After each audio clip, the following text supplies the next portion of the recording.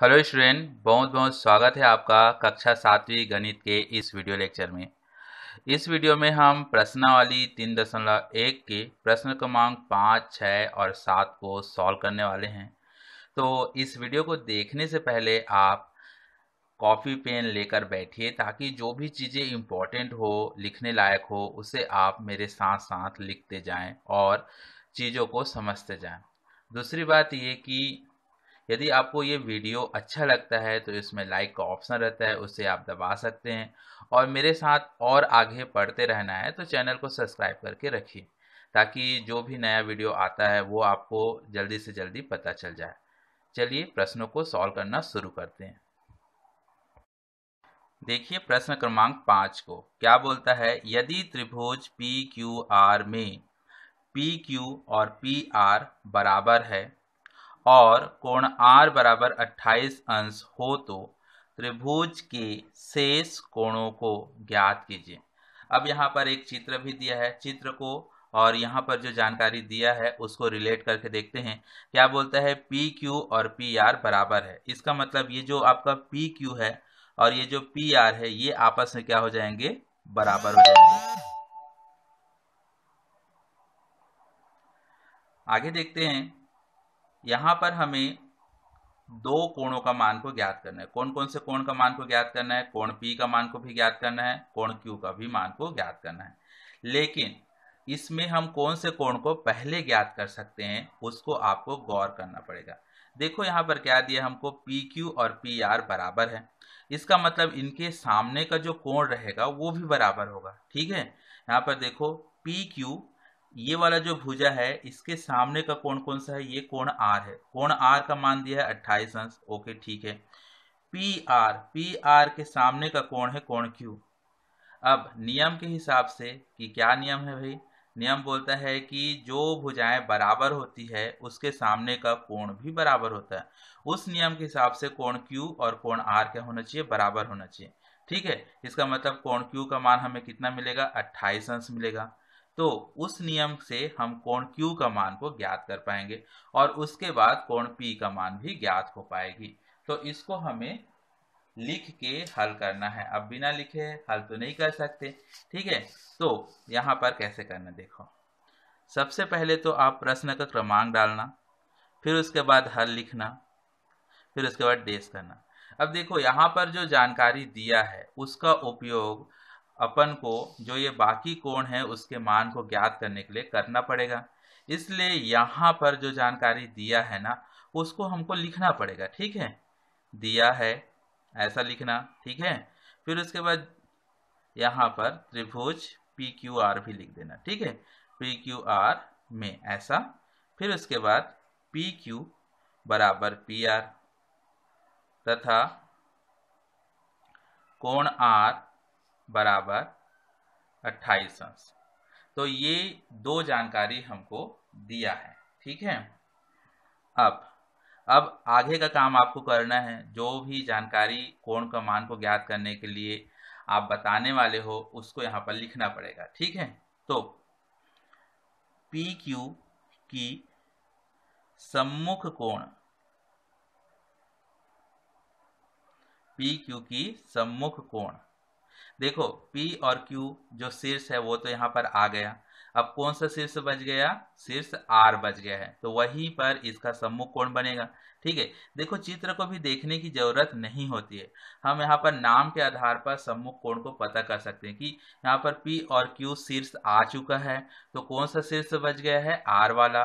तो P Q का सम्मुख कोण कहाँ पर बनेगा? R पर बनेगा। ठीक है? इसी तरह से तथा पी आर की सम्मुख कोण। अब यहाँ पर देखो P और R आ चुका है तो कहाँ पर बनेगा? Q पर बनेगा। तो ये तो आपने ये बता दिया कि सम्मुख कोण कौन कौन से है, ठीक है? यहाँ पर हमको बराबर भुजाओं की नाम भी दे दिया है, ठीक? अब हमको नियम को लिखना है। क्या नियम है भाई? क्योंकि किसी त्रिभुज में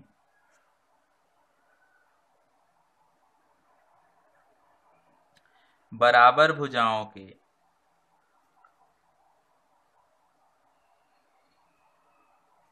देखो, फ़िलहाल ये जो नियम हम पढ़ रहे हैं, त्रिभुज के लिए पढ़ रहे हैं, ठीक है? किसी और जो आकृति है, उसके बारे में तो अपन को क्लियर कट पता नहीं है। इसलिए जब नियम लिख रहे हो तो त्रिभुज शब्द का इस्तेमाल करो। क्योंकि किसी त्रिभुज में बराबर भुजाओं के सम्मुख कोण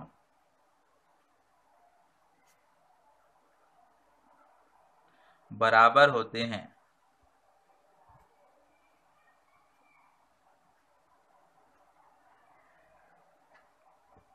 तथा चूँकि पी क्यू बराबर पी आर। अब देखो, सम्मुख कोण बराबर होते ये तो नियम लिख दिए। अब कौन कौन से भुजा बराबर है, उसको भी तो आपको बताना पड़ेगा, है कि नहीं? इसलिए उसको यहाँ पर लिखेंगे। इसके बाद हम इसलिए पी क्यू के सामने का कोण कौन सा है? कोण आर है। तो उसको उसके नीचे लिखो, ठीक है? बराबर। और पी आर के सामने का कोण कौन सा है? कोण क्यू है। तो इसको भी हम लिख लेते हैं। अब देखो, यहाँ पर कोण आर का मान कितना दिया? 28 अंश। तो उसी को यहाँ पर हम लिख देंगे 28 अंश, ठीक है? तो इस तरीके से हमको कोण क्यू का मान पता चल गया है। अब कौन सा कोण बच गया है? देखो, कोण क्यू हो गया, कोण आर हो गया, कौन सा बच गया भाई? कोण पी बच गया है। यहाँ पर चित्र में भी हम देख सकते हैं, देखो, कोण आर का मान मिल गया है, कोण क्यू का मान अभी हमने 28 अंश पता किया है। अब कौन सा कोण बच गया है? पी अब देखो, एक दूसरा नियम याद करो, त्रिभुज के तीनों अंत कोणों का योग 180 अंश होता है, ठीक है? त्रिभुज के तीनों अंत कोणों का योग कितना होता है? 180 अंश होता है। तो हम उस नियम को यहाँ पर उपयोग करेंगे। अब, चूँकि त्रिभुज के तीनों अंत कोणों का योग।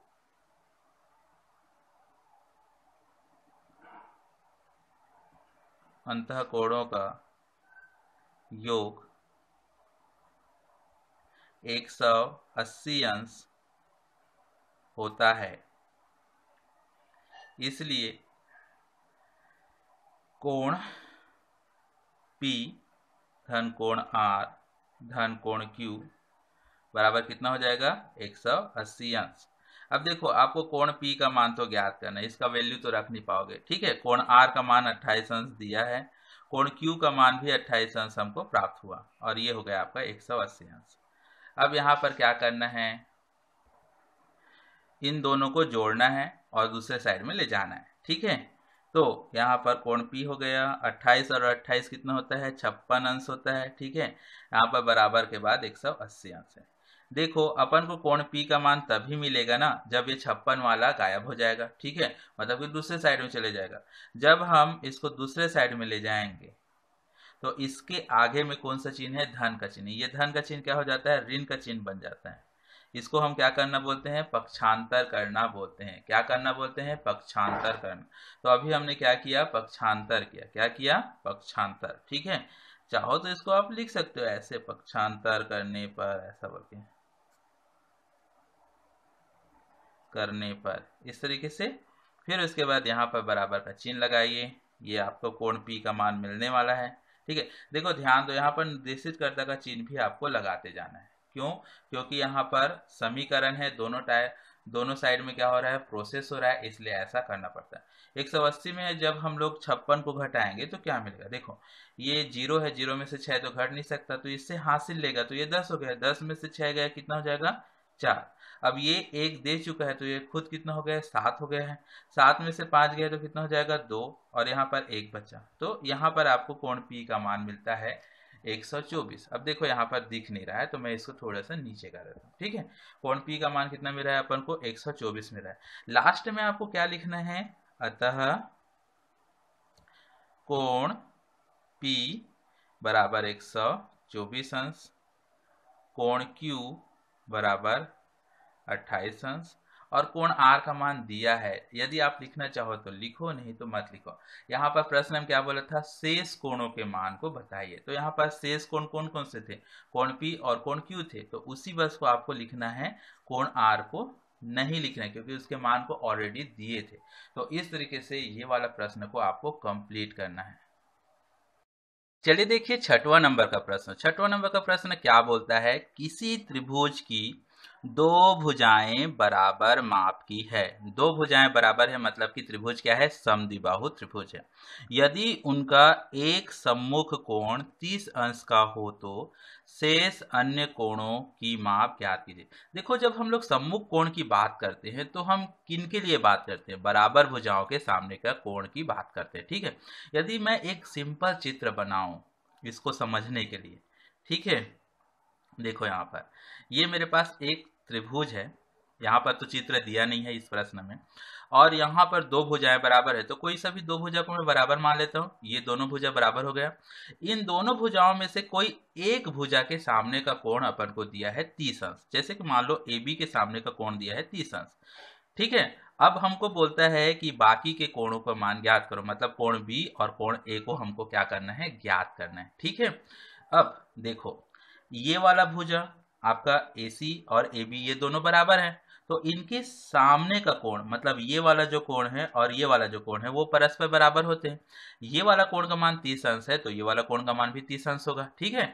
और फिर त्रिभुज की परिभाषा का यूज़ करके, त्रिभुज की परिभाषा क्या बोलती है? किसी त्रिभुज में तीनों अंत कोणों का योग 180 अंश होता है। उस नियम को यूज़ करके हम जो ये तीसरा कोण बच गया है, उसका मान भी ज्ञात कर सकते हैं।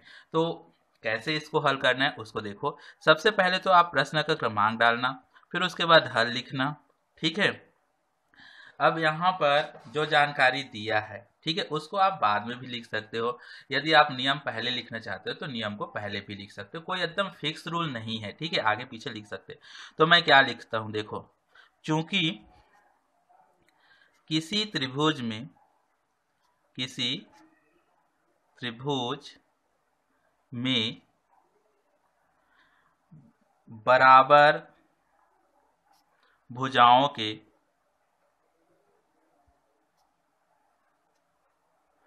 सम्मुख कोण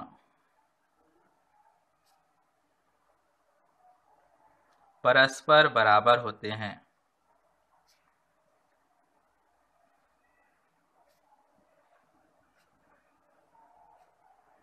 बराबर होते हैं। ठीक है?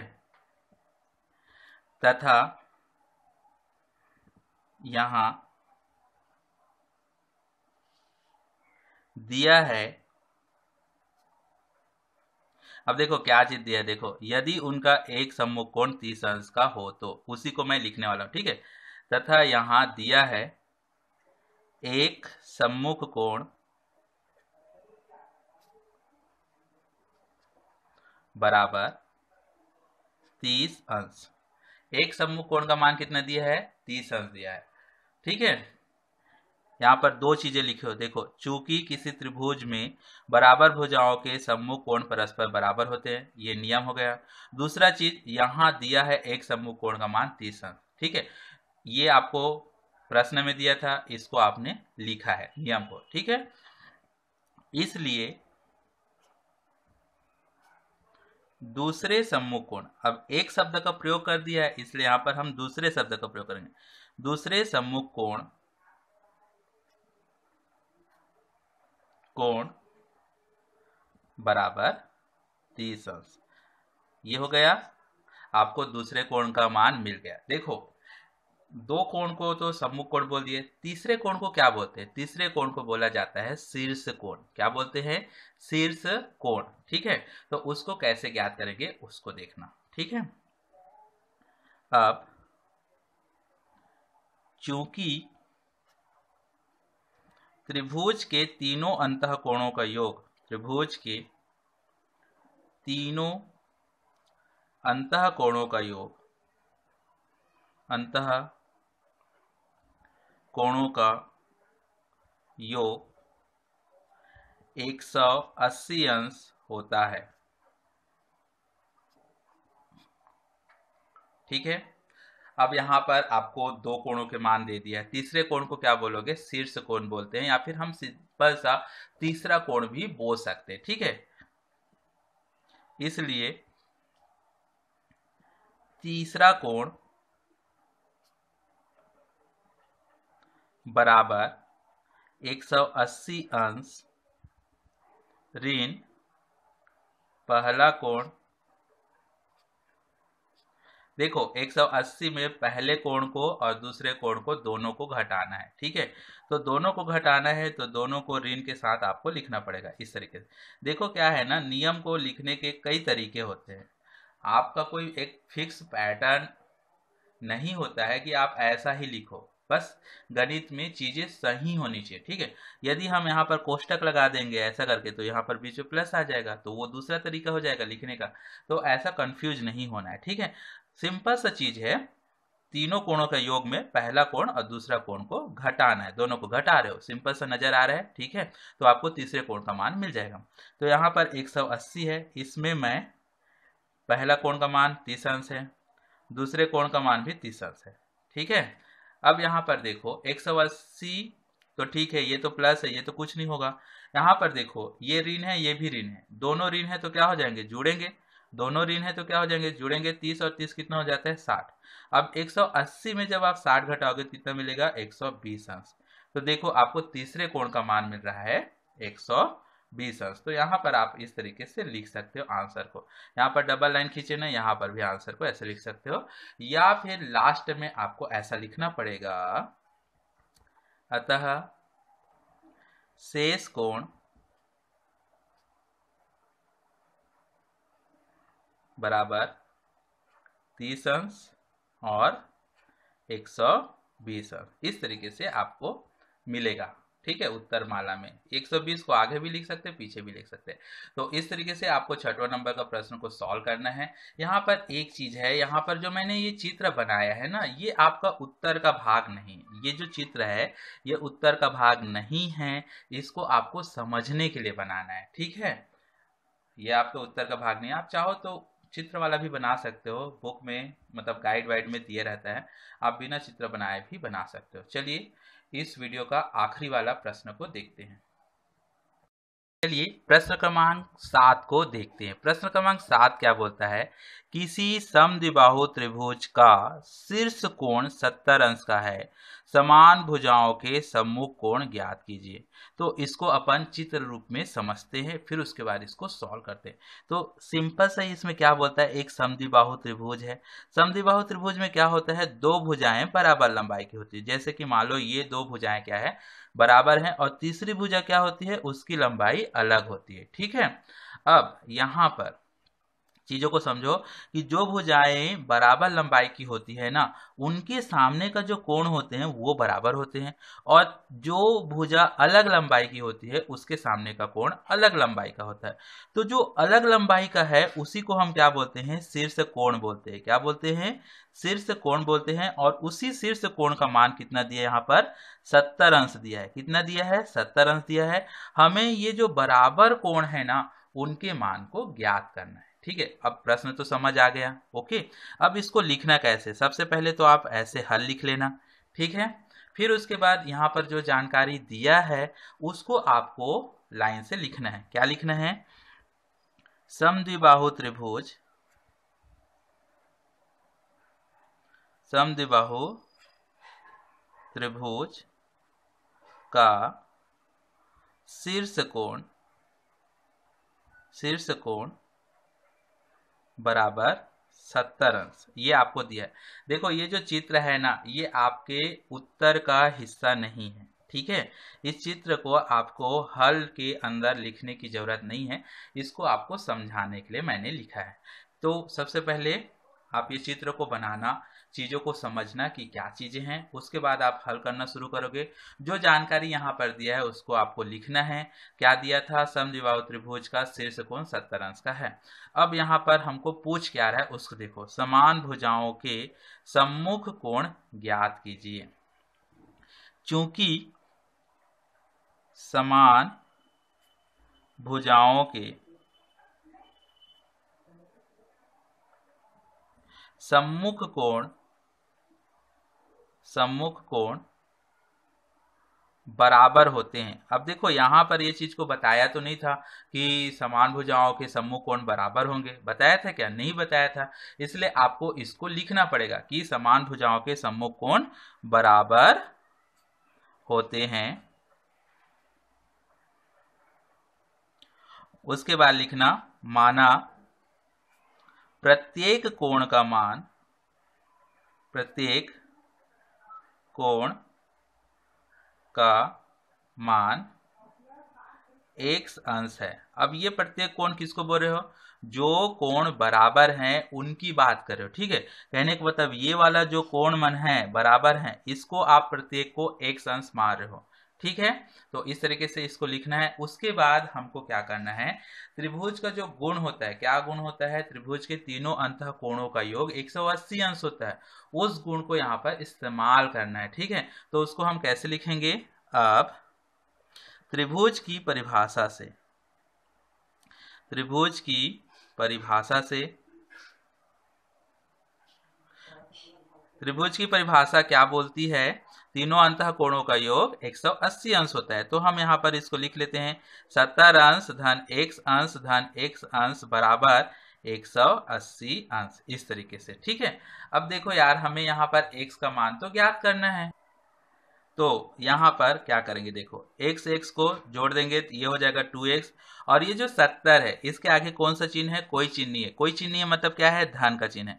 और ये सत्तर इन बाकी लोग के साथ कैसे संबंध में है? जोड़ने के संबंध में है। तो इसको हम क्या करेंगे? पक्षांतर करेंगे। दूसरे साइड में जाएगा 180 के साथ ये क्या करेगा? 180 के साथ ये घटाना करेगा। क्या करेगा? घटाना मतलब कि माइनस करेगा, ठीक है? ऋण हो जाएगा। यहाँ पर धन है, वो धन यहाँ पर जाके क्या हो जाता है? ऋण हो जाता है। इस तरीके से जब हम ले जाते हैं तो इसको क्या करना बोलते हैं? इसको बोलते हैं पक्षांतर करना। तो यहाँ पर हमने क्या किया? पक्षांतर किया। तो उसको अपन को लिखना है पक्षांतर करने पर, इस तरीके से, ठीक है? फिर यहाँ पर फिर से निर्देशित करता का चिन्ह लगाएँगे। यहाँ पर टू एक्स बराबर। 180 में जब हम 70 घटाएँगे तो ये हो जाएगा 110 अंश। कितना हो जाएगा? 110 अंश हो जाएगा। ठीक है? एक को अच्छे से लिख देता हूँ यार, नहीं तो फिर आप लोग बोलोगे, कैसे कैसे लिखते हैं सर तो? है ना? तो 110 अंश हो गया। अब देखो, यहाँ पर ये जो दो है ना एक्स के साथ कैसा संबंध में है? गुना वाला संबंध में। जब हम इस दो को दूसरे साइड में ले जाएँगे तो उसको बोलते हैं तिरक गुना। देखो, यदि ये अंश में गुना हो रहा है तो दूसरे साइड में जाके क्या होता है? हर में गुना होता है, ठीक है? 110 के हर में कुछ नहीं था मतलब एक था, एक में जाके गुना होगा तो दो, ठीक है? तो इस तरीके से और यहाँ पर अपन को मिल जाएगा पचपन अंश। 110 को दो से भाग दोगे तो पचपन आता है, ठीक है? तो यहाँ पर जो बराबर कोण थे, प्रत्येक का मान अपन को कितना मिल रहा है? पचपन अंश मिल रहा है तो उसको अपन को थोड़ा सा अच्छे से लिखना पड़ेगा, ठीक है? यहीं पर आप ऐसा करके ऐसे आंसर लिख सकते हो, आपका काम कंप्लीट हो गया है। फिर भी यहाँ पर एक लिखना है। अतः बराबर भुजाओं के सामने का कोण या फिर आप बोल सकते हो सम्मुख कोण, प्रत्येक। यहाँ पर प्रत्येक का मतलब दो यहाँ पर कोण बनेंगे? उनके प्रत्येक। ठीक है? प्रत्येक बराबर पचपन अंश। तो इस तरीके से इसको आपको लिखना है। ठीक है? पचपन अंश लिख लोगे, फिर यहाँ पर ऐसे डबल लाइन करना और यहाँ पर आप आंसर लिख सकते हो। यदि यहाँ पर नहीं लिखे हो, तब यहाँ पर लिखना है। यदि यहाँ पर लिख दिए हो और ये दो लाइन को आपने नहीं लिखा है तो भी चलता है। लेकिन आपको ये लाइन को लिखना चाहिए यदि आपके कॉपी में जगह है तो। और आंसर को एक ही बार यहाँ पर लिखना है, यहाँ पर नहीं लिखना। आप लिखते हो तो भी चलता है, ठीक है? चलो, इस वीडियो में इतना ही। मिलते हैं नेक्स्ट वीडियो में। बाकी के क्वेश्चन को भी देखते हैं। चैनल के साथ बने रहना है तो चैनल को सब्सक्राइब कर लेना। मेरे साथ पढ़ना है तो ठीक है? यदि वीडियो से आपको कुछ सीखने मिला है तो इसको लाइक कर देना, अपने दोस्तों के साथ शेयर करना।